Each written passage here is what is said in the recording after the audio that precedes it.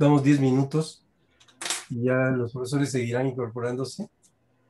El, Clara, yo creo que yo quiero agradecerle al doctor Sergio de la Vega por su participación en nuestro seminario el día de hoy, pero me gustaría que Clara lo presentara, porque... ¿Estás ahí, Clara? No. Sí, aquí estoy. Ah. Pues este, pues tenemos como invitado a, Sergio, la verdad no le pedí su, currículum para presentarlo, pero como comentaba él, nos conocimos hace 15 años en un curso de, en un curso de sistemas complejos que hubo entre la UNAM y la UAM. Fue un curso muy interesante de matemáticas y, este, y matemáticas para personas de humanidades y sociales. Y Sergio ha manejado muchas cosas de matemáticas y cosas y, la parte social. Y entonces pues, nos va a platicar un poquito sobre el COVID y las matemáticas. Adelante, Sergio. Gracias. Eh, buenas tardes. Mientras voy compartiendo esto, eh, voy más que por currículum en términos este, de presunción, eh, voy a mencionar eh, cosas en las que he, trabajado y participado para justo darle contexto a lo que pretendo presentarles, que aquí ya me... Uy, esto siempre... Estas son de las cosas que pasan. Déjenme preparar porque esto se movió de lugar. Eh, decía yo, ¿qué es lo que se ven ustedes en pantalla? Perdón. Ahorita nada. se Ahorita nos, estamos nada más el Zoom. Oh, ok, entonces retomo compartir pantalla, eso es. Me meto a, a PowerPoint para poner carátula y supongo, ahora sí se ve toda la pantalla para ustedes, ¿verdad? Sí, sí, ya, perfecto. Entonces, eh, pongo este, la, carátula para dejar algo que, que nos permita reflexionar y voy a mencionar lo siguiente. Yo estudié actuaría y maestría de estadística. Y por mi interés en estadística fui a dar a Xochimilco Ciencias Sociales para dar estadística. Básicamente de ahí me derivaron a dar más eh, materias, matemáticas, álgebra, cálculo, eh, geometría analítica, eh, álgebra lineal, programación lineal. Eso me, me encomendaron.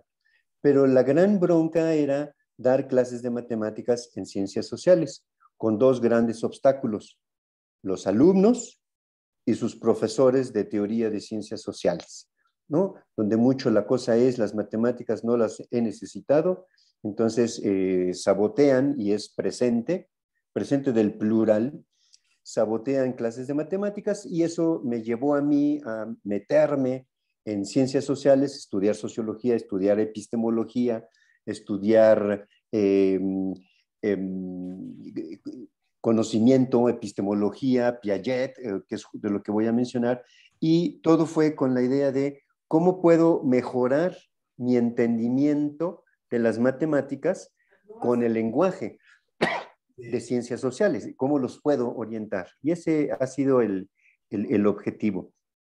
Obviamente ahora tengo una mezcla eh, trabajo más cosas sobre el Estado, ni siquiera sociología seca, sino directamente sobre el Estado. Eh, la vida me fue llevando a manejar datos de pobreza, datos de marginación. Lo de COVID fue mucho por el surgimiento de, de la pandemia y entonces, ¿qué podríamos contribuir? Y es ahí donde eh, em, aparece pues lo que he acumulado de conocimiento y cuando hablo de conocimiento es de práctica, dando clase y haciendo trabajos. A mí me tocó diseñar eh, la selección de localidades para Progresa, aquel programa de los 90, que luego se convirtió en oportunidades, que luego se convirtió en Prospera, ahora tiene bienestar a secas, eh, con algunas cosas eh, de antaño hechas, pero a mí me tocó juntar sistema de información geográfica con estadística y con este material de marginación que nos permitía justamente hacer regiones de marginación y poner el programa de combate a la pobreza en uso. Entonces, ese sería el contexto de cómo he buscado conjuntar cosas. Y cuando apareció, sobre todo los, las mañaneras o todos los eh, shows eh, y exposición, con todo el respeto, lo de show, ¿no? Eh, y exposición de los datos de confirmados y datos de activos, los primeros, ¿no? En cuanto todavía tenían algunas cosas por pensar, titubear, etcétera. De lo primero que me llamó la atención fue lo del aplanamiento de la curva. Y que de alguna manera, y aquí ya pasó tanto tiempo, estamos en el día 438 desde que comenzó esto, eh, ahí ya, ¿qué fue primero? Si ellos comentaron el uso de los activos, se fue entendiendo el uso de los activos, pero a final de cuentas es sobre de lo que voy a, eh, voy a tratar. Y esto responde con, un lag. Entonces, el subtítulo de, de, la exposición, se lo comentaba Clara, es matemáticas para explicar cómo lo que yo conozco de funciones, de geometría, de tabulación, de teoría, eh, puedo utilizarlo para explicar. Obviamente tengo que ser un traductor. ¿no? Hay elementos teóricos en matemáticas y eh, uno intenta llegar a, cualquier escucha para poder hacer esto. ¿no? Entonces, explicar con matemáticas, se busca construcción de conocimiento, hay un proceso de construcción de conocimiento y por eso lo de epistemología, que estudié un tiempo en un seminario de Rolando García, el, el latino dedicado a trabajar con Piaget, su último libro, este de psicogénesis e historia de la ciencia, que es altamente recomendable y sobre todo todo esto que tiene que ver con epistemología, obstáculos epistemológicos y epistemofílicos, el sistema coherente de conocimiento objetivo y trataré de regresar sobre estas ideas. Eh, se va a compartir evidentemente esta presentación, así que la tendrán en sus manos en algún momento y podrán regresar sobre esto, más los apuntes que detecto que uno que otro estarían tomando. ¿no? Em, ahí está. Entonces, mucho de lo que está detrás es de lo que le aprendí a, Piaget. ¿no? Para Piaget el conocimiento tiene tres estamentos, están aquí eh, escritos de diferente manera, pero para Piaget primero uno tiene conocimiento donde no hay referencia, ¿no? Sucede simplemente. Después uno va entendiendo con ciertos conceptos una estructura, pero posteriormente esa estructura se relaciona con otra estructura y entonces puedo combinar dos sistemas de referencia. Estructura o sistema de referencia es un algo como podemos pensarlo como nuestro marco teórico inicial. Y entonces, eh, basado en eso, trataré de explicar justamente los asuntos que vienen hacia adelante. Eh, hubo una propuesta que no funcionó mucho eh, y buscaremos hacerles llegar. Esta es una lámina que no estoy seguro que se pueda ver en computadora, pero es una lámina preparada para ver en tercera dimensión. No sé si las conozcan, ¿no? Estas eh, láminas que son cuadernos, estoy tratando de acercarme no necesariamente, pero bueno, eh, buscaré mandarles un archivo PDF para que impriman esta hoja y lo que está detrás es una figura de tercera dimensión que se forma a partir de los efectos ópticos de nuestra mirada. No sé cuánto lo hayan escuchado, pero lo que quiero hacer con esto es, hay un ejercicio donde están unas instrucciones para que esta lámina se convierta en una mirada de tercera dimensión. Unos lo logran, otros no lo logran. Unos lo logran inmediatamente, otros batallan para verlo, y entonces mirar la tercera dimensión es interesantísimo, estoy seguro, en papel.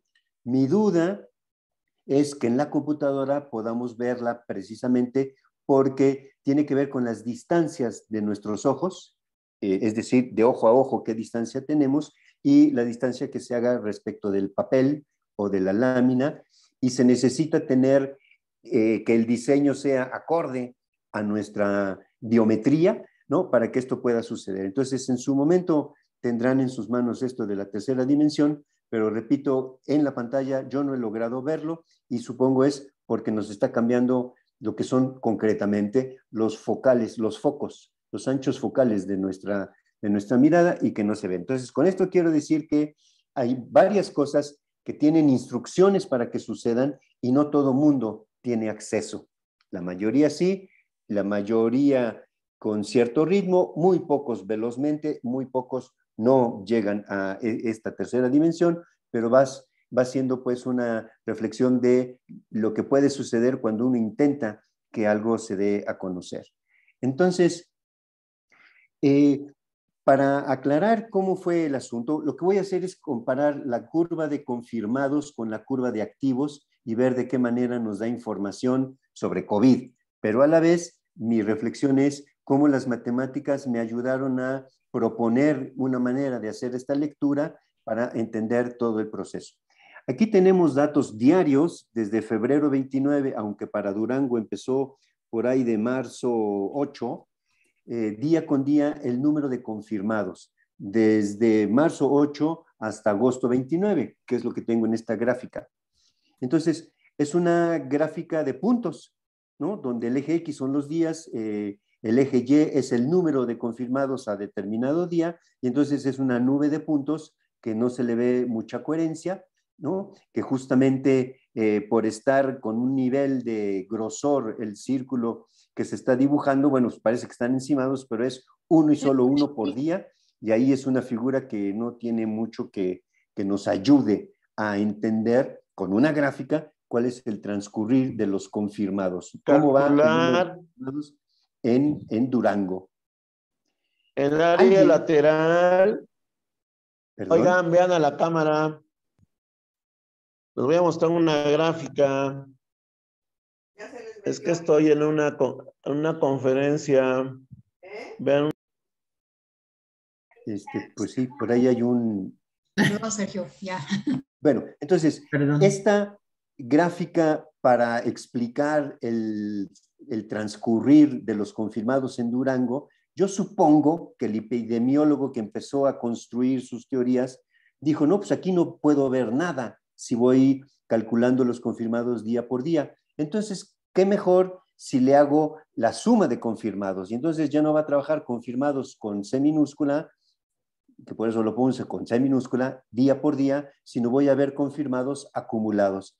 Y lo que va a suceder también con el lenguaje matemático, usamos la mayúscula para una cosa y la minúscula para otra.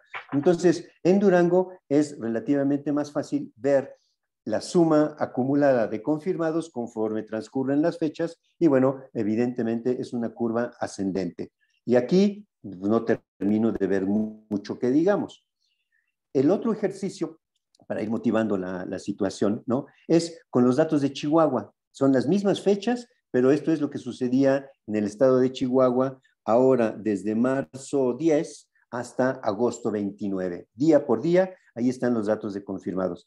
Tampoco se ve mucho, pero si se dan cuenta, hay ahí como una acumulación hacia arriba, bajan otra acumulación hacia arriba.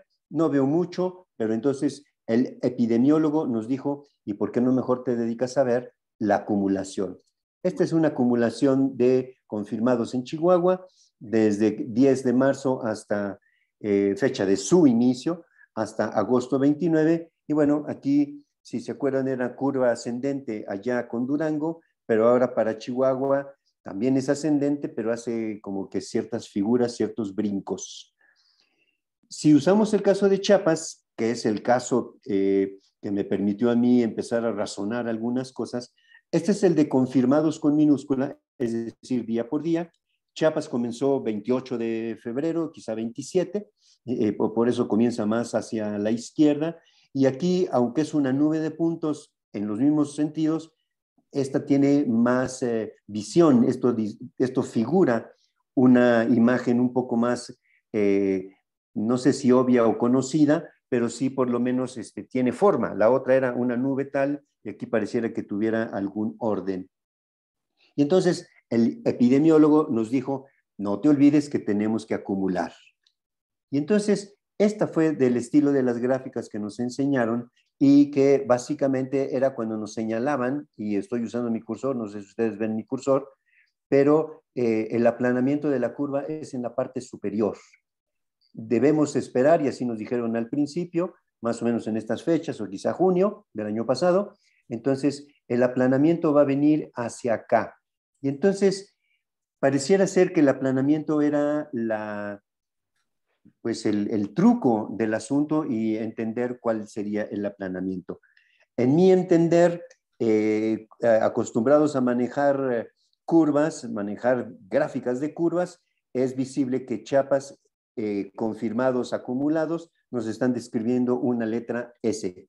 Y es una función, ¿no? Cómo va eh, de X y Y uno a uno y se va formando una letra S.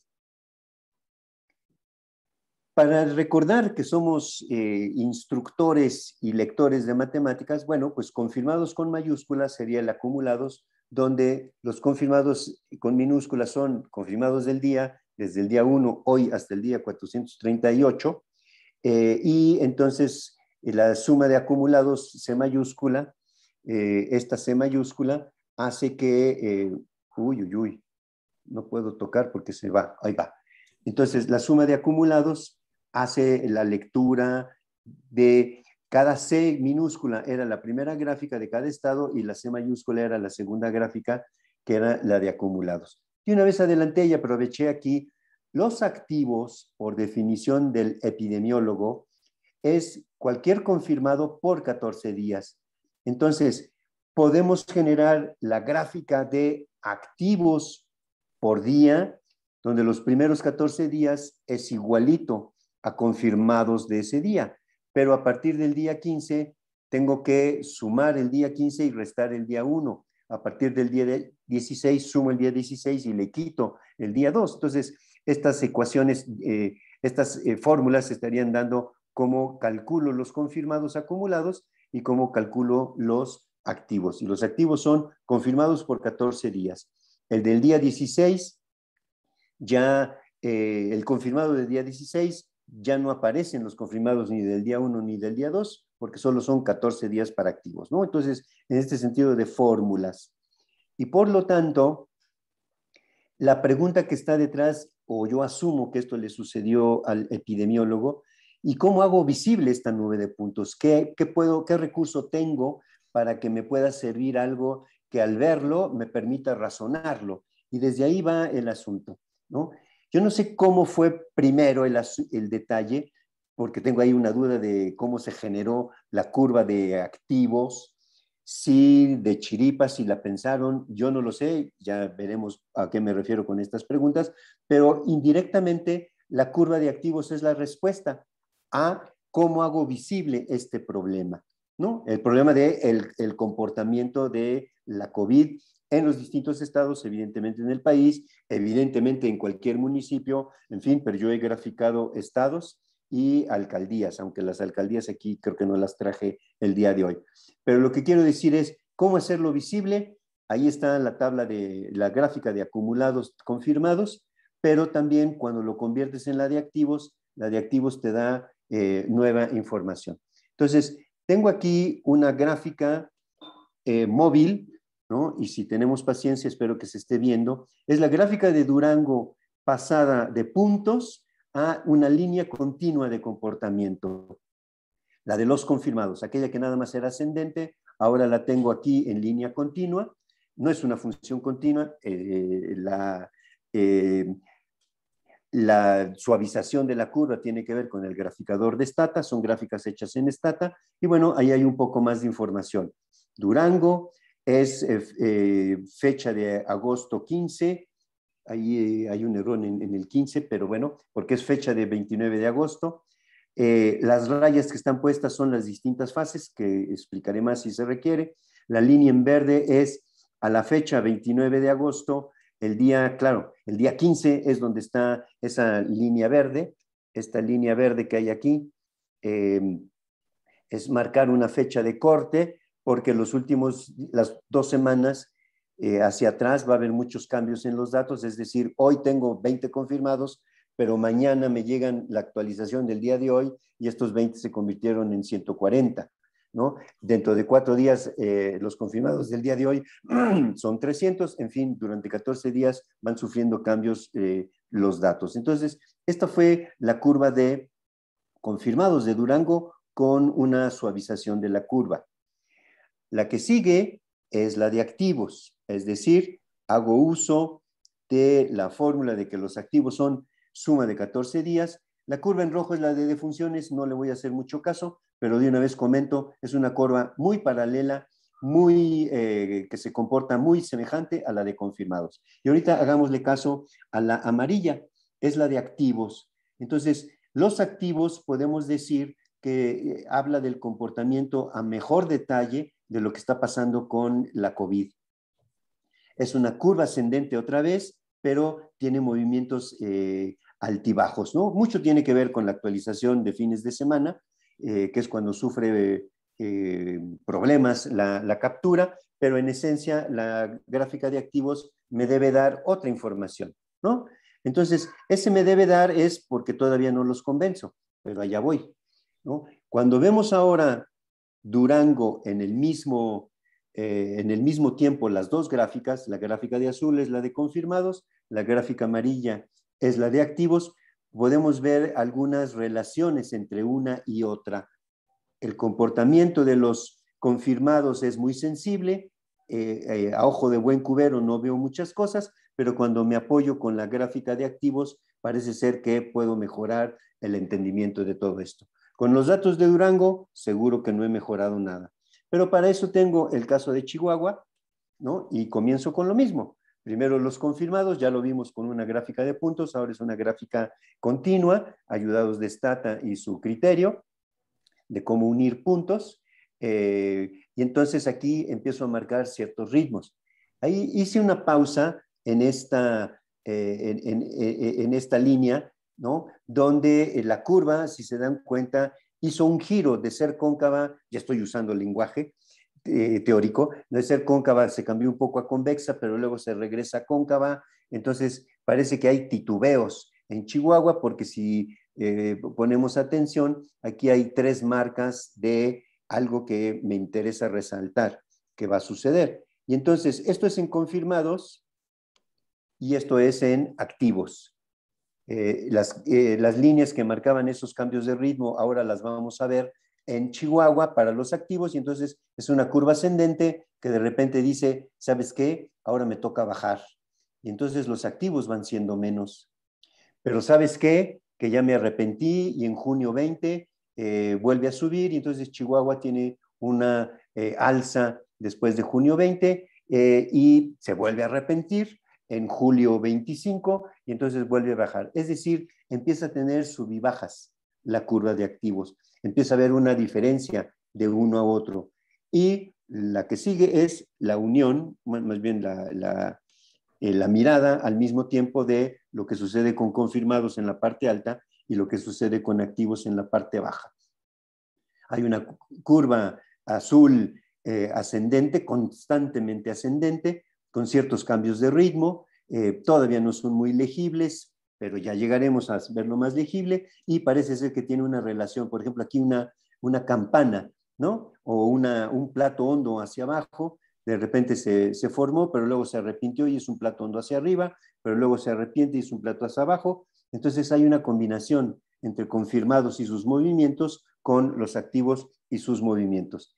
Y con quien me dio mucho pauta para seguirle buscando por ahí, primero fue una intuición, después fue una convicción, ¿no? Si recuerdan, se formó una letra S con los datos de Chiapas, de puntos, muy rara porque había puntos sueltos, aquí estamos poniendo puntos continuos, estamos, veremos lo de los activos, entonces igual se marca una, en este caso es cóncava hacia arriba, si se dieron cuenta, y a partir de esa línea que apareció es cóncava hacia abajo, ¿no?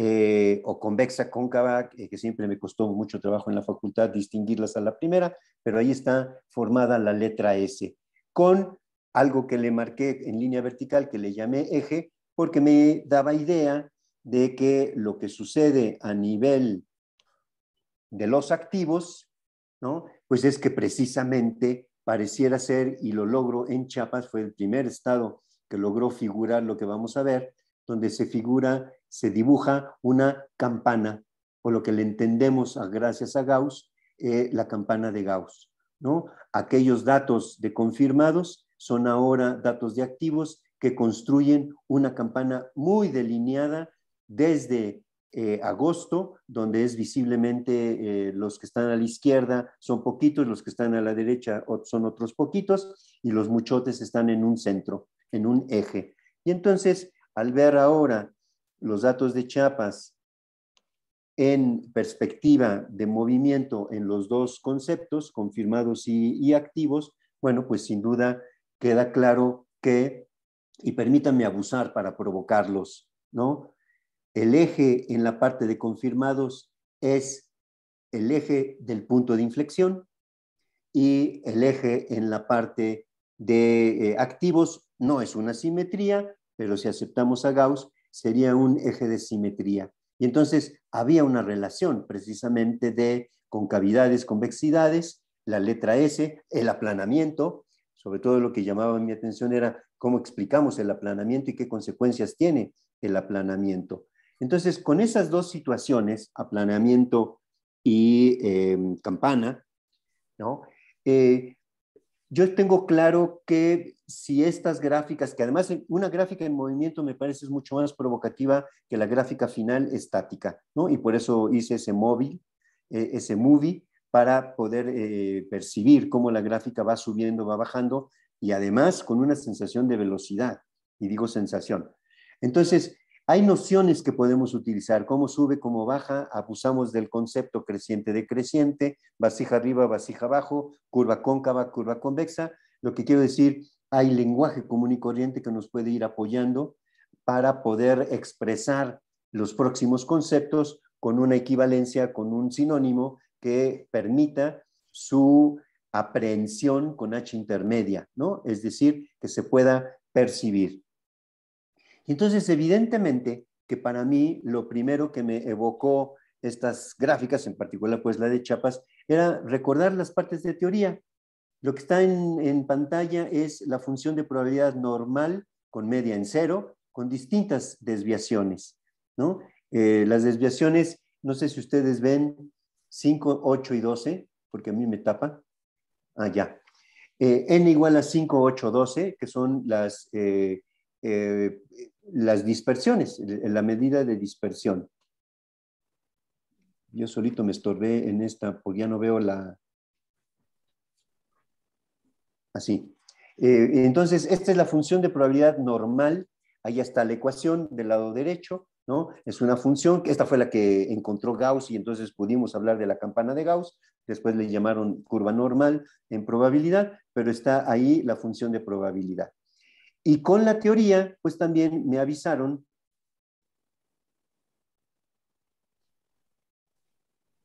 no me deja mover de...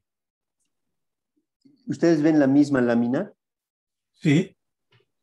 Porque ahorita ya no me deja... Tenemos las tres funciones de probabilidad. funciones de probabilidad de la normal. Sí. Pero ya no me deja cambiar. No me deja cambiar. Aquí voy a ver.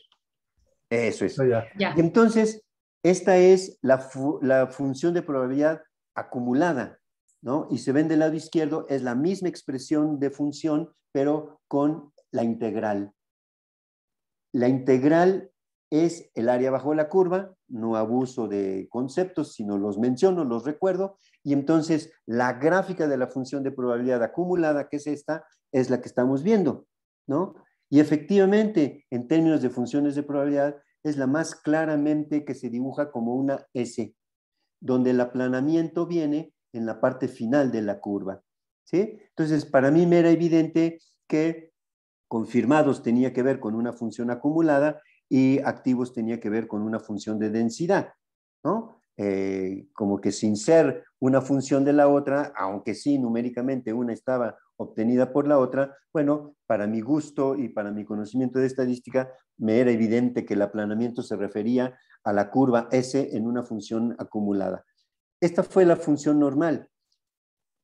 Eh, aquí están las dos juntas, ¿no? Entonces, del lado izquierdo está la de densidad, del lado derecho está la de acumulación. Una es con F minúscula izquierda, otra es con F mayúscula derecha. La F es la acumulada de la F, F mayúscula es la acumulada, la integral de la de densidad F minúscula con la que dibujo esa campana. Aquí sí, sin duda, es una campana simétrica con toda una serie de propiedades. El punto de inflexión eh, en la, gráfica de, acumulada del lado derecho está en cero, porque es precisamente el, eje, eh, y es la parte más alta en la función de densidad. ¿no? Si aquí cabe eh, la prudencia de detenerme y confirmar lo que dije, por si hubiera alguna duda, pero estamos viendo un punto de inflexión en la curva de acumulados que coincide en el eje de las X con el punto de mayor altura en la función de densidad. La función del lado izquierdo, campana, el punto más alto, su corte, su eje de simetría coincide con un eje de eh, inflexión en la parte de acumulados. Entonces, eso yo sabía, eso yo tenía claro de que existía. Y entonces, esa fue mi intención de irle a buscar argumentos. Para ejemplo de que no, no, toda normal es lo que existe, aquí está otra función de probabilidad que es la g cuadrada. La g cuadrada está ahí su ecuación, esta es la función de densidad, solo para valores positivos de x, y esta es la función de acumulación de la g cuadrada. Aquí la S es más estilizada, es diferente. Aquí no tengo dibujados los ejes, no hay simetría en la G cuadrada, pero en la, de acumulación sí hay un punto de, inflexión en esa curva cóncava convexa, el cambio de uno a otro, y entonces existe para cualquier función de probabilidad eh, esta relación de F minúscula con F mayúscula. Eh, aquí están las dos juntas para recordarlo. Una es la integral de la anterior, eh, y por lo tanto una es la derivada de la otra, ¿no? Evidentemente, si están relacionadas. Y entonces, aquí estoy mostrando, me estoy avanzando, ya llegué a mayo de, 2021, ¿no? Estas son las gráficas de todos los estados, donde está en amarillo los activos y en azul los confirmados, ¿no? Entonces, si se dan cuenta, las, eh, y aquí estoy en medio, este, aquí yo no logro leer cuál es este estado, porque me tapa. Bueno, después de Nuevo León y antes de Coahuila, este que está aquí. Es Guanajuato. Guanajuato, ok, gracias, es que a mí me tapa un letrero. Entonces, fíjense cómo aquí hay una campana interna y aquí se forma otra campana interna, pero sigan ahora el comportamiento de la S que zigzaguea, ya no es nada más una S, sino son varias heces que se forman y se rompen, ¿no? Y cualquiera de ellas, acá Jalisco, por ejemplo, ¿no? Jalisco tiene una continuidad, una meseta, que le llaman la meseta en, los, en, las, eh, eh, en las conferencias de Gatel y compañía, ¿no? Esta es la meseta a la que se refieren, y precisamente como en una meseta, la gráfica en azul simplemente es ascendente, pero cuando se empieza a formar algo parecido a una campana, bueno, pues la la S empieza a zigzaguear, empieza a serpentear y se empiezan a formar. Entonces, vean la relación que hay entre las S en la parte de, o fracciones de S en la parte azul, relacionada con las campanas que se pudieran estar formando eh, titubeantemente, porque unas sí se hacen jorobas, pues, en concreto ya no son campanas, pero se hacen jorobas internas, de tal manera que están relacionadas. El eje que he dejado en estas gráficas es el del punto máximo de la curva de activos, que cuando se logra formar una S muy formal, bueno, pues precisamente se detecta en la gráfica azul, ¿no? Entonces, aquí van en, ascenso de cierto valor mejor a menor. Eh, las líneas verticales están marcando fechas. Es interesante revisar aquí cómo eh, es el efecto de eh, mayo 10. ¿no? De las primeras cosas que nos dimos cuenta el año pasado es que después de mayo 10 eh, hubo una alza en, activos y en confirmados y obviamente se fue quedando claro qué significaba quédate en casa. Después vimos que el 15 de septiembre también hizo levantes, después diciembre, final, fiestas de diciembre hicieron levantes y por eso estaban esperando que para las fiestas de, o bueno, no son fiestas, o sí son fiestas, de Semana Santa de este año, el efecto no fue como se esperaba porque ya había antecedentes que cada festividad nacional había un repunte en el aumento de confirmados, pero se ha dicho con ciertas excepciones, vean Tamaulipas, aquí Tamaulipas sí se nota un efecto de Semana Santa, ¿no? Esta parte final que está levantando pendientes positivas, a diferencia de las anteriores que son pendientes negativas en la parte derecha, ¿no? Entonces, en algunos estados sí tuvo efecto la, em, eh, la Semana Santa, pero en general en la suma nacional no, no tanto. Entonces, estos son los primeros nueve estados.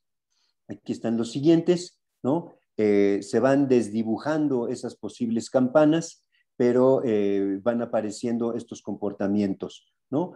Como eh, de a poco, estas gráficas se podían hacer diario, tenía más sentido verlas, revisarlas semanalmente por los efectos, pero fíjense cómo se hacen S titubeantes en los confirmados y cómo se hacen campanas o jorobas con los activos y seguir los activos te, daba mucha más lectura de lo que pasaba en el aplanamiento. Y entonces el, aplanamiento lo convertíamos visualmente en el acampanamiento. ¿no? Si yo logro construir una campana con los activos es porque se está construyendo una parte plana en la curva de confirmados. Y entonces activos nos daba más datos que, eh, ojo con lo que estoy diciendo, ¿eh? activos nos daba más datos que la propia curva de confirmados. Los siguientes nueve, fíjense cómo se empieza a desdibujar la letra S. conforme más avanzamos, ya las S no se suceden tanto. Me figuro mucho en Querétaro, ¿no? Fíjense cómo Querétaro, eh, me voy a regresar una lámina. Quédense viendo Querétaro, por favor, que ahorita está ocupado por San Luis Potosí, pero vean San Luis Potosí, me paso a Querétaro y es esa sensación inmediata como se hace una cuerda, ya no es una letra S, sino parece que es una cuerda para brincar la cuerda precisamente en Querétaro. Y me parece que no es accidental. Querétaro ha sido de los que más se, han eh, puesto en, naranja, rojo y cuánta cosa, pero este, no hablemos de Querétaro. El caso es que aquí están eh, las últimas gráficas. Eh, Quintana Roo, es que quien está ahorita en, colores rojos muy fuertes, fíjense cómo las jorobas nunca se definieron, la letra S nunca amarró, ¿no? Pero bueno, aquí tendríamos el comportamiento de los, los estados con mayor problema en tanto su comportamiento. Abajo a la derecha está la suma de la República Mexicana y es lo que yo comentaba. Esta esquina derecha de la gráfica habla para abajo, es decir, inclinación pendiente negativa, de tal manera que estamos viendo que el efecto de Semana Santa no surtió efecto como se esperaba en la República Mexicana y por eso se, se define. Entonces, ¿qué es lo que está eh, eh, en común en todo esto? ¿No? Si nos metemos con los conceptos y ahí cada quien si puede graficar esto para enseñar, y todavía no termino de por qué, enseñar qué cosa, ¿no? Eh, cómo hay conceptos que están involucrados en todo esto. Estamos graficando una función, estamos queriendo indicar sus propiedades, queremos encontrar las raíces de una función, saber dónde eh, eh, tiene velocidad alta, velocidad baja, empezamos a meter la derivada, para algunos apareció en prepa, para otros apareció en la universidad, para otros nunca va a aparecer la derivada como un concepto a estudiar, ¿no? Pero si distancia es la función, pues velocidad es la derivada. Y justamente, si confirmados es la función, eh, los activos es la derivada. Y justamente no teniendo funciones es lo que yo invito a la reflexión. No siendo la derivada, activos está funcionando como la derivada. ¿no? ¿Por qué? Porque nos está dando velocidad de cambio. ¿Por qué? Porque nos está dando de idea de los movimientos que está pasando en la curva en azul. ¿no? Y ahí está lo que tenemos en, esta, eh, detrás de todo esto, cómo la derivada de la función mayúscula se convierte en minúscula y cómo la integral de la función minúscula se convierte en la mayúscula. ¿no? Y ahí me llamaba la atención porque yo siempre me pregunté, ¿y por qué se llama cálculo diferencial e integral y no se llama cálculo, cálculo derivado, cálculo de la derivada? ¿No? Pero la parte de diferencial cobra mucho sentido a partir de ahora.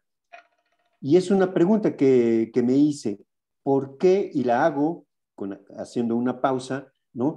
¿Por qué la, por qué la curva de, acumula, de activos funciona como derivada? Minutos de silencio que serán nada más segundos, ¿no? Pues porque a final de cuentas, si ya no lo escribí, los activos es una diferencia, es una diferencia de acumulados.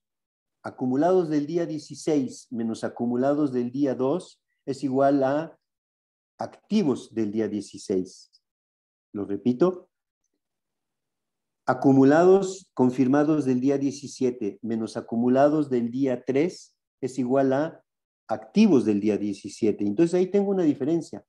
No tengo un cociente, que sería el límite, que sería la tangente, que sería la secante, pero sí tengo una diferencia. Y de ahí que reivindicaba yo lo de cálculo diferencial. Al final de cuentas, pues, los activos están funcionando como un diferencial que nos da la velocidad y que nos da el comportamiento de los confirmados. Para mí, desde el principio, y después le pude dar más fundamento, más argumentos, los activos nos explicaban mucho mejor lo que pudiera ser. Y aquí, eh, Yo también utilizo, como César hace ocho días, yo también utilizo la palabra microscopio en mis clases. La teoría es nuestro microscopio y nuestras lentes son los conceptos. Entonces, en una combinación de microscopios y lentes es como vamos entrando para convertirlo en observables. Y eso es parte de lo que dice Piaget. Los hechos los convertimos en observables a partir de tu teoría, a partir del microscopio, a partir de conceptos, a partir de sinónimos, a partir de razonar y pensar. Le platicaba yo a, Clara que eh, padre me dio clases de álgebra por un año, supongo, dos semestres, quizá tres semestres, no sé, eh, donde nos decía cada rato, y yo me tardé como cuatro años en entenderlo, aquí les vamos a enseñar a razonar, pero no les podemos enseñar a pensar. Y sin duda, en la medida en la que estamos enseñando teoría, estamos dando elementos para razonar las cosas, razonar los hechos y convertirlos en observables. Entonces, si en algún momento se pudiera construir un seminario eh, dedicado hacia las matemáticas de lo que dice Piaget, su epistemología y su generación, su génesis del conocimiento, suena útil por esto de entender mucho cómo nuestra teoría, nuestro microscopio, citas eh, a César, ¿no? Pues justamente son los conceptos, es todo nuestro marco teórico. Y yo reivindico ese seminario de epistemología con Rolando García, eh, murió hace unos cinco o ocho años, eh, pero fue discípulo de, o colega en el último libro con Jean Piaget. y bueno, esto es lo que yo le aprendí a epistemología en todo esto. Y también un asunto, por lo mismo, de los hechos y microscopio, algo que yo utilizo y en estadística me funciona excelentemente, poder acostumbrar al alumno a la lectura de tres pistas, como en los circos. Bueno, los circos antiguos, ¿no? Había tres actos a la vez. Aquí van a estar las tablas de por medio, que en general en secundaria empezamos a hacer tablas, para poder hacer gráficas, gráficas de R2 con puntitos, les juntamos las líneas, lo que fuera, pero ahí vamos haciendo y lo que es de llamar la atención es que existe una álgebra detrás.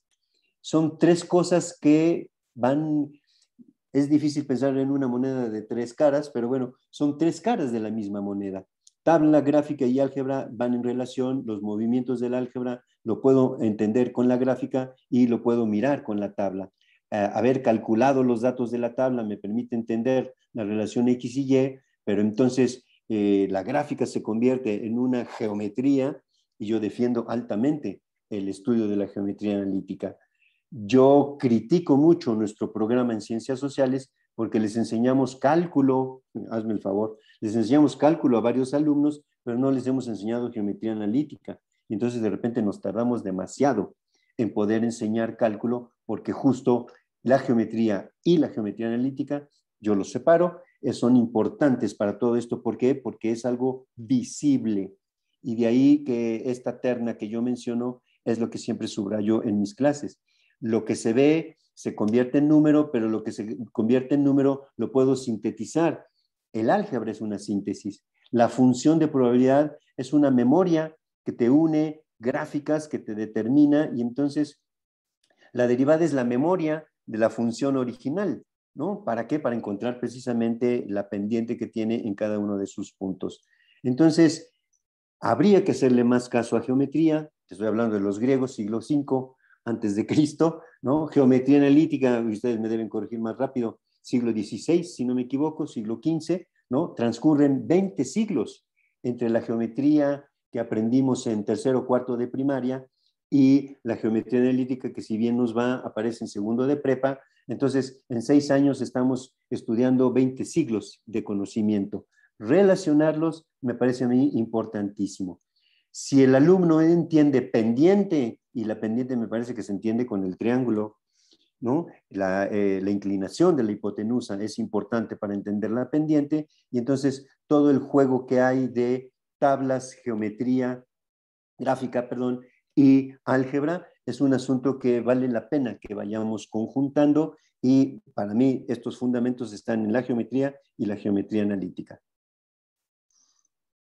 Con el álgebra hacemos cosas como las que ahora planteo. Aquí está un diagrama de Venn repetido varias veces para subrayar que tengo el conjunto A, el conjunto B, el conjunto C y todas las intersecciones.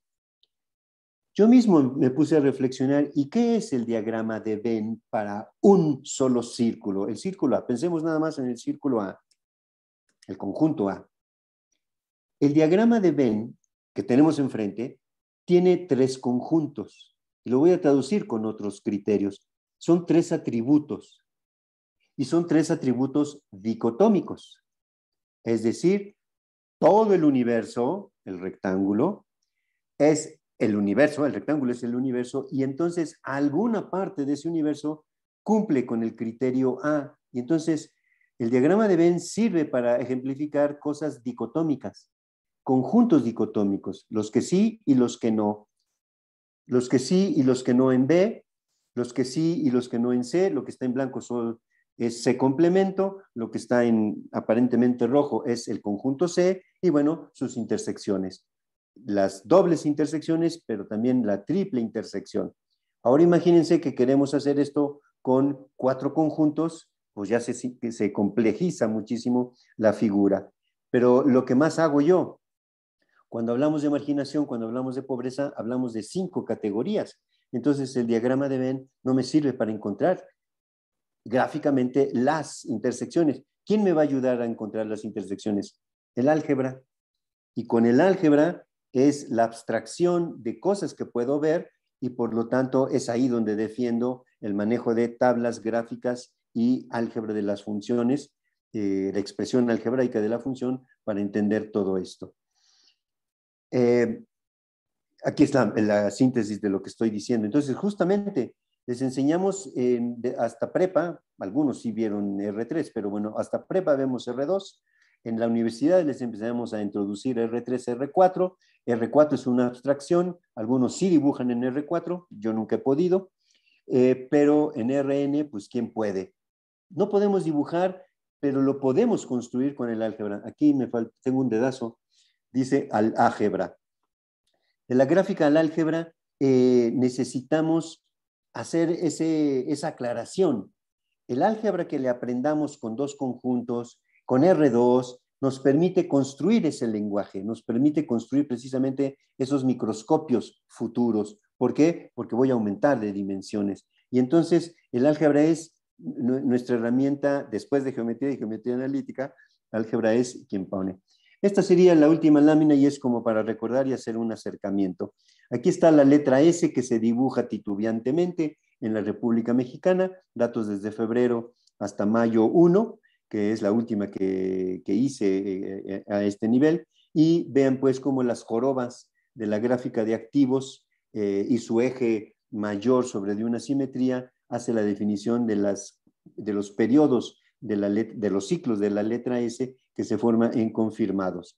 Están ahí la fase 2, la fase 3, que en un principio eran importantes. En junio 1 ya se abrió todo un elemento, ¿no? Y cada uno puede ir revisando en su estado. Era muy interesante cómo puedes revisar las fechas en el eje X y entender cómo justamente hay un levantamiento acá, ¿no? Fíjense cómo, no sé si se ve mi cursor, pero encima de la letra I de días es más o menos 15 de septiembre y es ahí donde se elevó eh, la contaminación en el país. ¿no? Íbamos bien, hasta julio 25 eh, tuvimos un ascenso, íbamos en descenso, pero Égeles se apareció el 15 de septiembre y nos hizo levantar a nivel nacional. Estamos bajando, eh, estamos en los últimos días, sigue bajando y es a lo que se referían en las conferencias Gatel, semanas 53 y 54 están a la baja y bueno, efectivamente se muestran con este tipo de datos. Yo defendí mucho el manejo de los activos para entender el, proceso, la, transición de la enfermedad y después le fui agregando, pues claro, a final de cuentas la derivada te da la imagen de la función original donde tú puedes empezar a eh, dibujarla y entender eh, los cambios y aquí los cambios van siendo muy importantes porque los días del encierro es la que nos van indicando cómo hay cosas que sí suceden, ¿no? Entonces mi moraleja en las exposiciones que hacíamos era, por un lado está el sistema de salud, por otro lado está la enfermedad, pero el tercero en discordia es la gente, ¿no? Dependiendo de la gente y su comportamiento, la enfermedad y el sistema de salud van generando caos o generando soluciones. Pero no son solo dos, la enfermedad y el sistema, sino somos tres, porque nosotros también jugamos en todo esto. Y en la medida que le obedecemos al quédate en casa, en hace rato que empezamos lo decíamos, eh, ya estamos hartos, estamos aburridos, pero atinadamente le hemos atinado, ¿no? A que con esa eh, paciencia, eh, pues podamos tener resultados como los de ahora. Repito, esta semana 53, 54, que son más, pero bueno, día 430 y tantos, bueno, pues estamos en, en buenas condiciones y creo yo con este lenguaje de sub y baja, con estas partes de gráfica, eh, es posible que es el único tema, lo que está en presente es la derivada, pero es lo que yo creo que a mí me ha permitido generar con más, ayudado de gráfica, ayudado de la tecnología, generar en el alumno el conocimiento del cálculo y poderlo llevar también a conocimientos de estadística. Me parece que ahí sería finale con Tuti. Eh, y bueno, comentarios. Muchas gracias. Siempre digo, comentarios, objeciones. Muchas gracias, Sergio. Eh, Manuel me pidió que se disculpara, tenía que salir, tuvo que salir, entonces este, se disculpa contigo.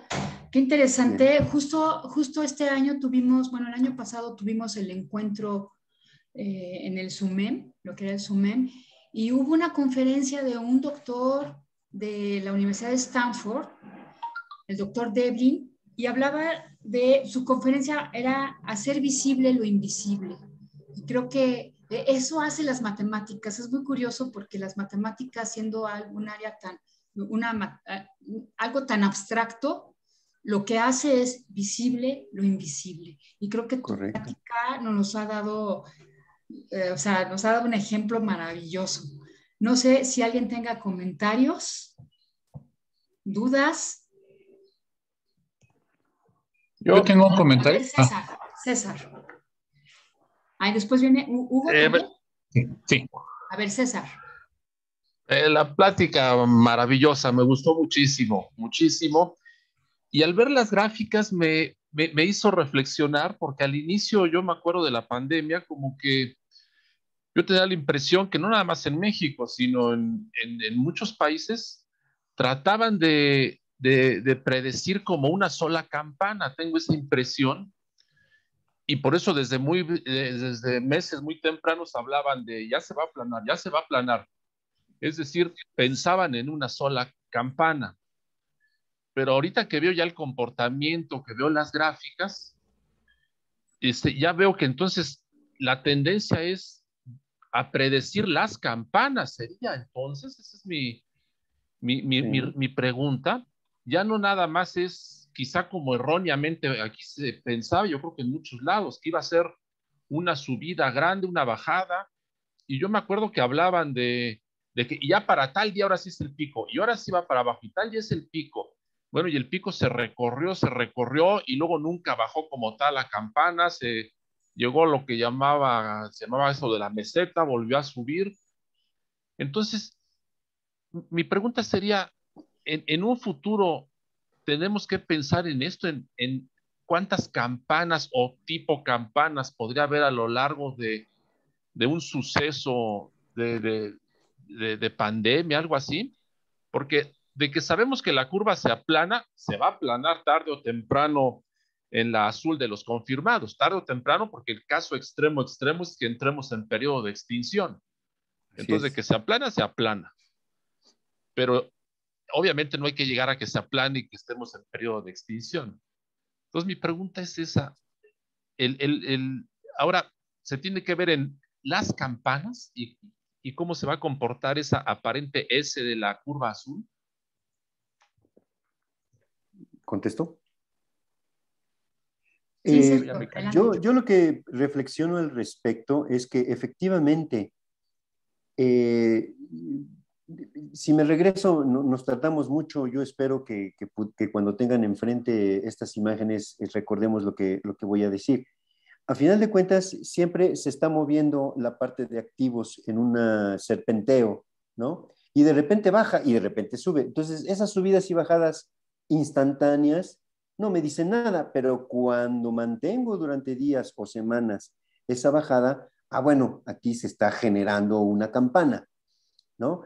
Piénsale en tiempo, piénsale en figura, te das tiempo de cuatro o cinco semanas para pensar que sí está bajando, pero justo entender que de repente para la octava se va a retorcer y va para arriba, y lo que hay que pensar,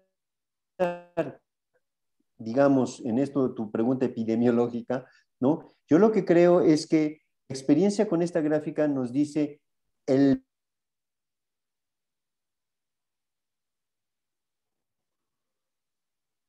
Ah, paciente participa. Y por eso hablé de no nos incluimos en el problema.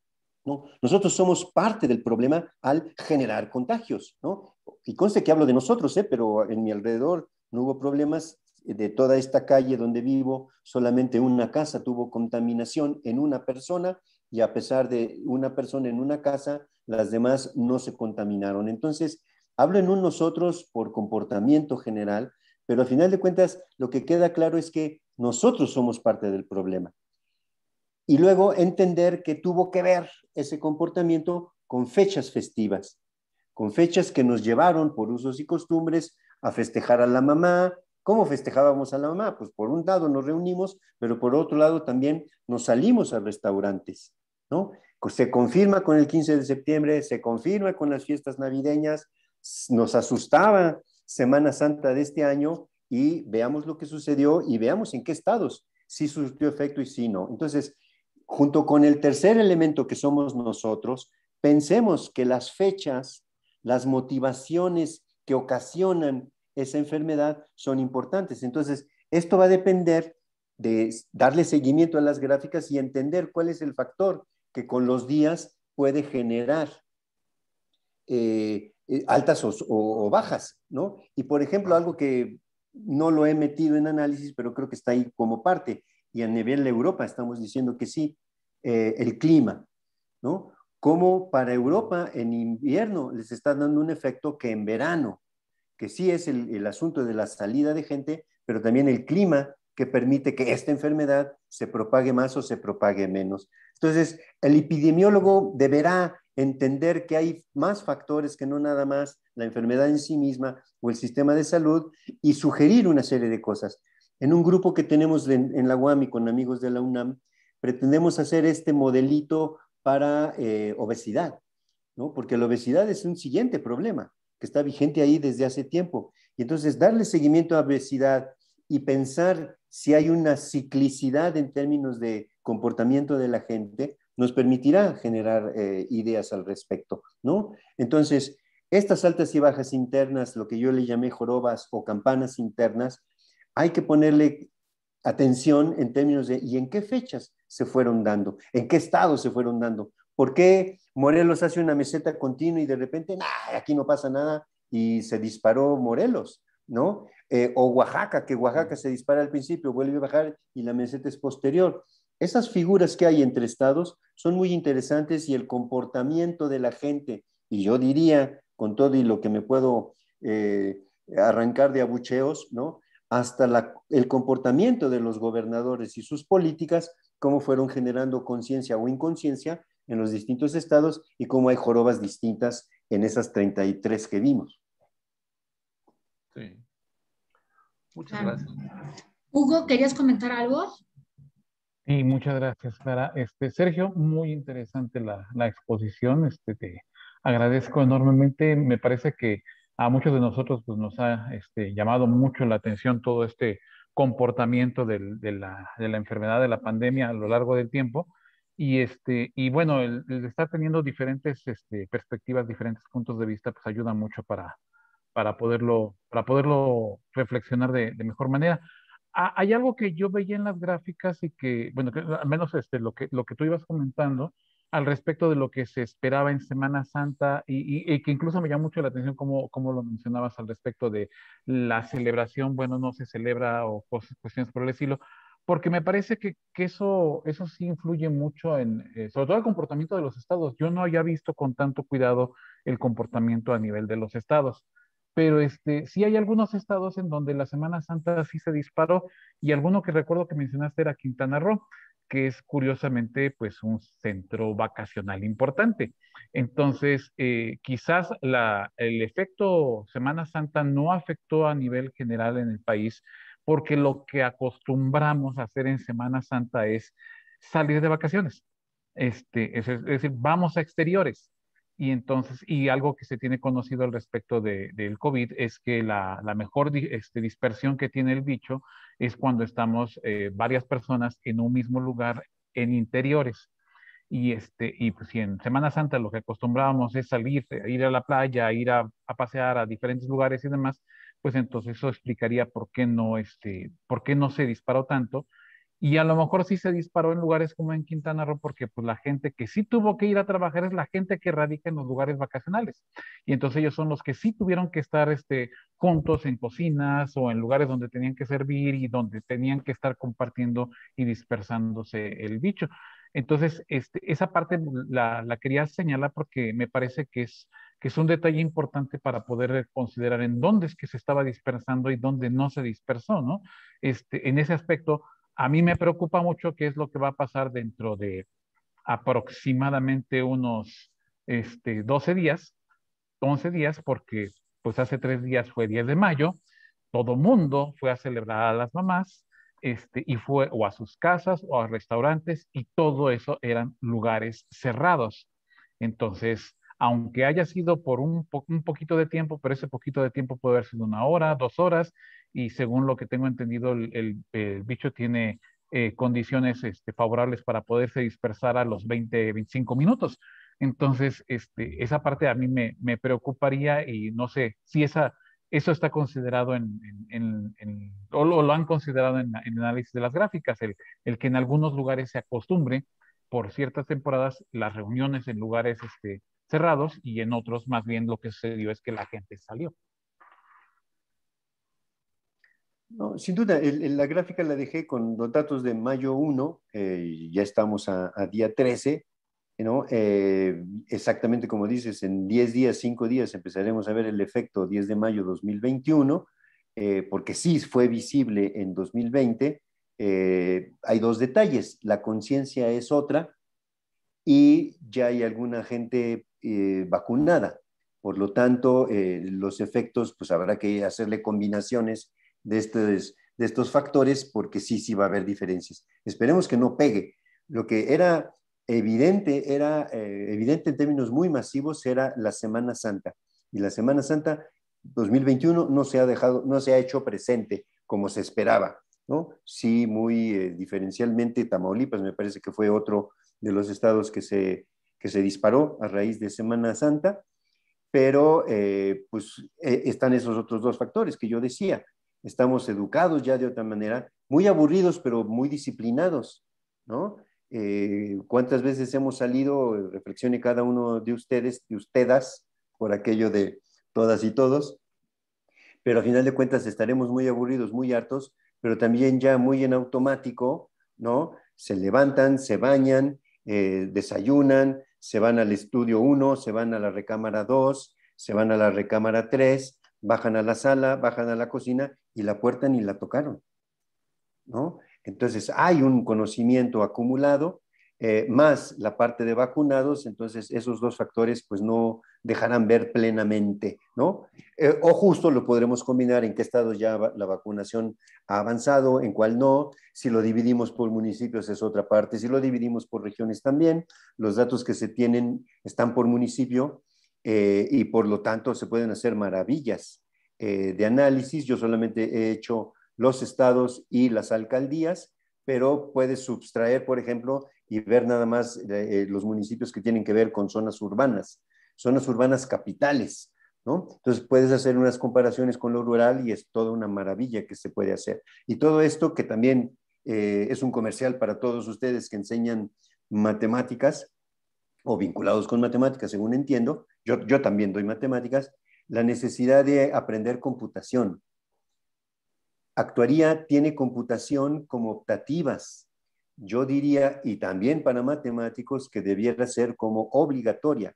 aprender un lenguaje de computación nos daría orden mental y nos permitiría ver toda esta serie de posibilidades. ¿no? Entonces, ¿por qué cito lo de computación? Porque a final de cuentas nos ordena, pero nos permite generar herramientas como estas. ¿no? Eh, esto de hacer una gráfica al instante y que le cambies el parámetro. Si yo tengo una normal 0,1, ¿qué cambia si le pongo 10,28? ¿No? ¿Cómo se tuerce? Cómo, y con solo un botón. Entonces, la tecnología nos da chance de programar este tipo de cosas e infundir en el alumno eh, este tipo de velocidad, ¿no? Les platico un asunto eh, que me sucedió y fue que me sugirió. En los 80, o sea, hace muchos años, yo trabajaba en la unidad de cómputo del Colegio de México, donde eran las computadoras grandotas, yo no me acuerdo cuál era la marca, pero era la competencia de la Burroughs, de la UNAM. No me acuerdo cómo se llamaba la, la compu del colegio. Y entonces estaba descompuesta por algo y yo estaba en, una, en un graficador donde tenía yo una curva normal, creo, Y entonces el, estaba lento el procesamiento y entonces yo empiezo a ver cómo se figura la, gráfica y cómo va agarrando velocidad. Uno percibe que es velocidad cuando se levanta la gráfica y luego cuando se aplana y cuando se mueve. Entonces, ese error de la computadora me sugirió a mí que para graficar vamos a hacerlo en tiempo real. Y entonces, si podemos simular, como lo hice con estas gráficas en movimiento, si podemos eh, que además también, si ustedes lo logran ver en movimiento, fíjense en la velocidad del dibujo. Cuando justamente la curva hace pendiente muy positiva, es más rápido el dibujo en esa parte y cuando se hace plana es muy lento. Eso, llevarlo a las sensaciones también es algo muy útil para todo esto del aprendizaje. Entonces, lo que comentas eh, es cierto, como son distintas cosas. Bueno, pues de tanto ensayar, que es también lo que nos hacía César con su exposición anterior, ¿no? Cuando le pones nada más los primos y cuando le pones los quién sabe qué y les pones y nada más con un dedazo seleccionas los movimientos que tú quieres y el efecto es muy didáctico. Tenemos que explotar más la tecnología actual. Pues sí, Gabriel, no sé si lo quieras comentar. Gabriel puso en el chat que, que pues, era importante los laboratorios de matemáticas. No sé si quieras comentar algo, Gabriel, tú que has hecho cosas bien interesantes. Sí, es que veo que es bien importante esto de la hacer dinámico estas cosas porque facilita mucho al aprendizaje. Entonces, de hecho, yo ya tengo como 20 años. Este, antes lo hacía con programas como Geometry o como usaba Maple o, o Derive, ¿no? Pero ahora ya, ya viéndolo así, pues digo, no, sí, es necesario ya tener un laboratorio por lo menos una vez a la semana. Este, y ya que no sea teóricamente, bueno, es la dan como materia teórica, ¿no? Pero ahora que fuera teórica con laboratorio, así como en física. Y entonces tener prácticas de laboratorio donde se vayan enseñando este tipo de, de sistemas, este, ¿cómo se llama? Donde con un solo botón variemos los parámetros y pues veamos comportamientos de varios fenómenos. Entonces, pues a mí es una maravilla esto, ¿no? Pero bueno, es, es muy difícil este, convencer a las autoridades que sí es necesario esto. Bueno, pues muchas gracias. Eh, y contesto esta intervención con algo que me pasó con mucho. ¿No? A mis compañeros de, matemáticas en Xochimilco, alguien, dos al menos, se me, se me acercaron. Oye, Sergio, ¿cómo puedes dar matemáticas con computadora? En especial estadística, en especial eh, cálculo, ¿no? Porque les empecé a dar Stata, les empecé a dar SPSS, les empecé a dar Excel y que empezaran a manejar las cosas y como dice Gabriel, para que picando un botón se vean las diferencias. Entonces, mi respuesta fue, ¿cómo puedes dar matemáticas sin computadora. Cuando ya tenemos una herramienta que nos permite ver las cosas a mayor velocidad, acumulando mayor conocimiento y sobre todo con movimientos que te permiten a ti una percepción distinta. Si entra por la vista, entra de diferente manera que solo por la abstracción etérea. ¿no? Si la abstracción además la convierto en figuras, la convierto en colores, la convierto en formas, la convierto en cambios, el aprendizaje, para mi gusto, se acelera. Bueno, sí. A mí en particular me tocó, me tocaron maestros que decían que lo único que necesitaba en matemático era pizarrón y gis, ¿no? Pues Hace muchos años. Pero las cosas cambian y, creo que tenemos que, cambiar nuestras clases también, ¿no? Incluso si nos quedamos solo con la abstracción, hay cosas que a lo mejor no vamos a lograr visualizar, no las vamos a poder ver. Y, mira que el que me dijo eso de el que el matemático solo necesita pizarrón y gis fue el doctor Barajas. o sea, en, sus clases, él comentaba que cuando se hizo el, el, el Instituto de Matemáticas, bueno, la, la, Facultad de Ciencias, el Instituto de Matemáticas, dijo, yo, aquí solo necesitamos GIS y, pizarrón. Y era el doctor Barajas. Pero sí, las cosas cambian. Hay una mano levantada del maestro Manuel. A ver, Manuel. Hola, buenas tardes a todos. Este, miren, quiero comentarles algo ahorita a propósito de lo que se está diciendo. Eh, Hace algunos años, cuando tomé un grupo de matemáticas 6, área 2, eh, yo aún daba clases de física en la prepa. Y entonces algunos chicos me cuestionaron acerca de para qué les iban a servir las matemáticas si ellos iban para medicina, enfermería y cosas así. Yo les dije, escojan un problema de los que hemos estado revisando o alguno que les haya llamado la atención incluso de su curso de química. Y por ahí salió a colación la difusión. Entonces, este, em, yo los invité a que mientras estábamos en el laboratorio con mi grupo de cuarto, ellos hicieran un experimento. Eh, en agua eh, dejaron caer un poco de tinta china y vieron cómo se dispersaba. Y yo les decía, bueno, las matemáticas pueden modelar ese comportamiento.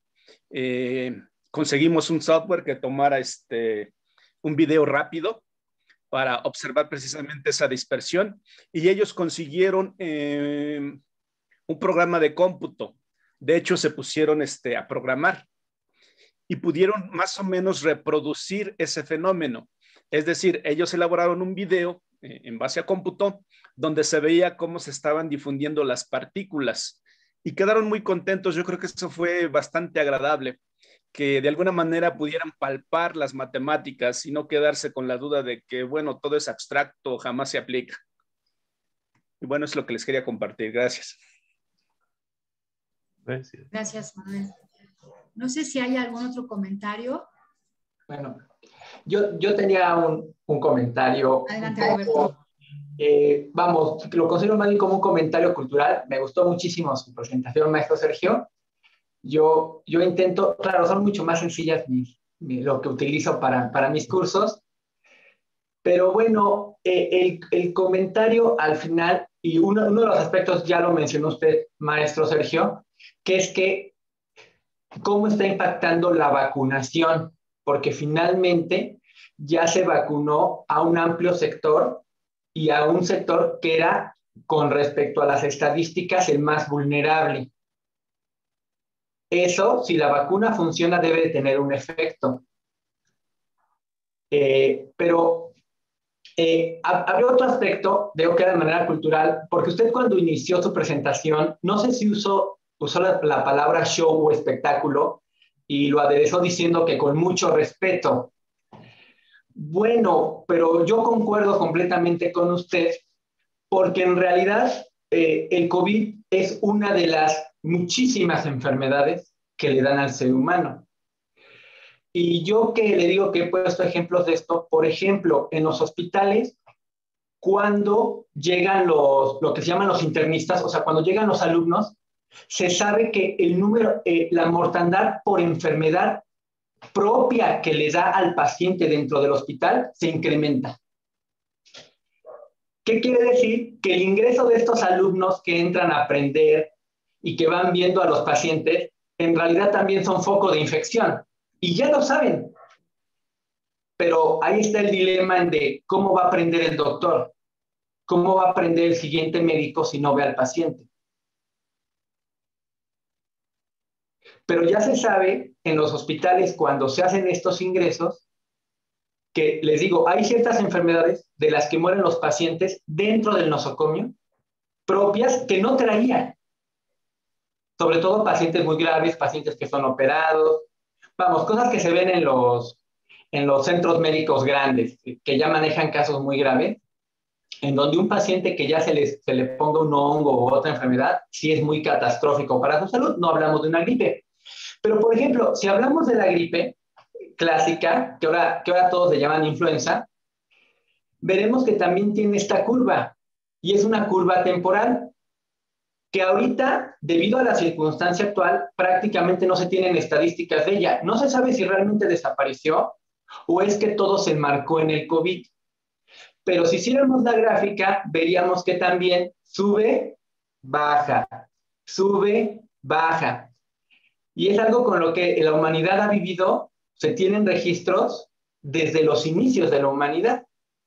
Claramente, la mortandad que provoca ahora, salvo por los casos cuando se ha vuelto muy grave, la gripe española o cosas así, o, eh, la que fue local en México, que con respecto a lo actual, pues no es tan grave, que fue la H1N1, pero en general, históricamente ha tenido esas subes, bajas, subes, nunca ha desaparecido.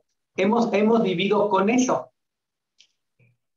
Y bueno, nada más el otro factor. Entonces, bueno, le decía que sí me parece un show porque yo desde que vi eso creo que eso era lo que se esperaba, la realidad de lo que se ve con todas las enfermedades. Otra que cito, por ejemplo, es la tuberculosis, que algún tiempo se creyó que con la penicilina y con la ampicilina iba, iba a ser erradicada. ¿Y cuál? Resulta que lleva décadas al año se le asignaban, en 2019, para 2020 todas las estadísticas se pararon por COVID, pero hasta 2019 más o menos se registraban millón y medio de muertes por tuberculosis anualmente. Y hablo que es una enfermedad que lleva décadas, cuando menos eh, que, yo, que, yo, que, yo, que yo había visto esos estudios. Y también eh, sube y baja, sube y baja. Entonces, el COVID no es la primera, tiene, tiene sus buenos puntos el COVID, pero bueno, en ese sentido sí me parece que lo que hicieron las autoridades fue un show, en ese sentido. En ese sentido, que lo que uno ve era lo que podía esperar de las enfermedades, puesto que el COVID no es la primera con la que nos enfrentamos. Hay cosas maravillosas, como nunca se había sacado una vacuna a esta velocidad. Eh, tomé un curso de los que nos dan para prepararnos con un profesor eh, de, de, de, de, ahí, de, una de las facultades. El protocolo para las vacunas puede llevar hasta ocho años. Tres para... Es increíble que ahora en meses tuvieron la vacuna. Eso, es algo maravilloso, una cosa que digo, wow, qué bárbaros. O sea, de lo que yo había leído, que me había dado este profesor de la facultad y que considero una persona competente, a lo que, a lo que ahora vemos, a lo que pasó ahorita, es increíble, ¿no? Pero bueno, sí creo eh, que muchos se armaron un show. la verdad, disculpe que pero sí creo, y creo que bueno, que, que faltó más cosas como las que usted está haciendo y explicaciones como las que usted está haciendo. Y me da gusto haber estado en esta plática. Eso era lo que le quería decir. Y fue un placer escucharlo. Gracias, maestro. Gracias, Roberto. Gracias, Roberto. No sé si quieras comentar algo, Sergio, y algo, ya son 2.34, por respeto tenemos que terminar, pero no sé si quieras cerrar con algo, Sergio. Pues, sí, eh, bueno, pues sí, gracias por, por, la reflexión de Roberto. Efectivamente, eh, para mí, lo de show eh, fue una parte positiva. Yo no lo tomo en contra. Este, no, no es una sesión de política, así que vamos a obviar, irnos por la tangente, pero sin duda el hecho que nos hayan demostrado es un cambio en el asunto, ¿no? Día con día nos están dando informado, información y por eso hablo de un show en positivo. A mí me agrada que nos puedan mostrar. Y también, que lo dije muy suavecito, pero esto cualquiera puede agarrar los datos y bajarlos de, internet. Mejoraron la manera de que tú puedes eh, los datos y lo puedes hacer diario y diario puedes hacer tus gráficas. Entonces, toda la entrega de información y toda la posibilidad de juntar distintas eh, disciplinas, pues nos permite. Y aquí estaríamos hablando de juntar computación con álgebra, con geometría, con geometría analítica y poder hablar estadísticamente de un problema de salud y poder aportar a eso. Claro. Pues muchas gracias, Sergio. Muchas gracias, Sergio, por tu, por tu participación. Creo que fue muy rica y creo que es bien interesante el ver eh, las matemáticas aplicadas en algo que nos está afectando a todo el mundo, ¿no? O sea, muchas gracias, Sergio. Y es algo, como dices, todas estas áreas que manejamos, la geometría, la, la estadística, el cálculo, o sea, son cosas que vemos desde la prepa. Y, y creo que eh, mostrar esto a nuestros alumnos de cómo tiene una verdadera aplicación, porque esa es la típica, la típica pregunta de los chavos, ¿esto de qué me va a servir? ¿No? Creo que todos hemos sufrido eso y, tu plática ha sido muy enriquecedora. Muy enriquecedora. Muchas gracias, Sergio. No sé, algún comentario final. Paco, tú que, ya que no está aquí Manuel, Paco, no sé si quieras. No, nada más que me gustó muchísimo, muchas gracias. Y pues ya. gracias, Paco. Bueno, pues muchas gracias. Que cuando tengas algún ratito sigas siguiendo este seminario. Estás cordialmente invitado, Estás Sergio, invitado seminario. cuando quieras. Sí, muchas gracias. Nuestro seminario, este, la plática, como saben, se está subiendo a la página que ya les compartimos, la página del Departamento de Matemáticas. Yo espero poder subirla hoy en la noche. Y este, y pues nos vemos, Patti, nos vemos la próxima, ¿en qué? ¿El 27? Creo que sí. ¿Cómo están ustedes de tiempo para ver si planeamos? Jesús andaba por aquí, Jesús Salinas. Sí, aquí está el maestro, el doctor. Ya no está. Ah, ya no, está. Bueno, yo creo que la, la siguiente plática sería con el, doctor Jesús. Pero si nos vemos el 27, Pati. Sí, de entrada sí. Ok. Ok.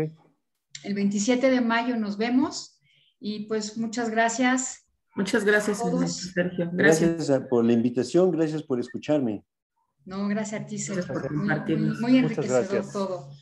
Y gracias a todos, gracias por su tiempo. Sé que los profes están ahorita full de trabajo. una, cosa, Manuel Falconi dejó dicho, yo veo dos futbolistas y una pelota. Esa es la imagen que, está. Entonces, Mira, sí la logro ver. Dependiendo de tu pantalla, yo supongo ah, que sí se logra. Yo también logré verlo, ¿eh? Eh, ah, mira, Paco también lo vio. Yo también logré verlo. Bueno, pero ahorita, les, ahorita se lo mando a Pati. Eh, Sergio me hizo el favor de mandar, fue mi culpa que no se las envié, pero se las envió a Pati por si lo quieren imprimir, a lo mejor va a ser más fácil. Sí, gracias, gracias. Lo mando Pati por correo, la imagen. Y, y se va a subir a, la página el PowerPoint y el, y la, el video de, de, la conferencia. Gracias, gracias, Gabriel. Gracias. Entonces, sí es eso lo que se veía. Sí, sí, es eso. Y es, ah. y es, impresionante cómo es tercera dimensión ayudado de tus ojos, ¿no? Les invito a que hagan cosas así, ¿no? Logren verla y luego muévanla para atrás y para adelante. Se desfigura, pero sobre todo, donde la están viendo en su mejor foco, háganla girar. Y luego me dicen qué pasa. Muchas gracias. Las mando por correo a Patti y al grupo. Sí, yo se las, se las mando. Gracias. Gracias a todos. Por ahí leía también que si fue planeada la enfermedad, dudo mucho que esto haya sido planeado. Sí, yo también. Yo también lo dudo mucho. También. Pues muchas gracias a todos. Que tengan un buen fin de semana. Gracias, gracias a todos. Gracias, a todos. Buenas tardes. Gracias, hasta, luego. Hasta luego. Maestra Marta me queda. Muy buena tarde a todos. Buenas, tardes, a todos. Gracias, Roberto. Gracias, buenas tardes a todos. Hasta luego. Buenas tardes, María. Maestra Gisela, hasta luego. Bye.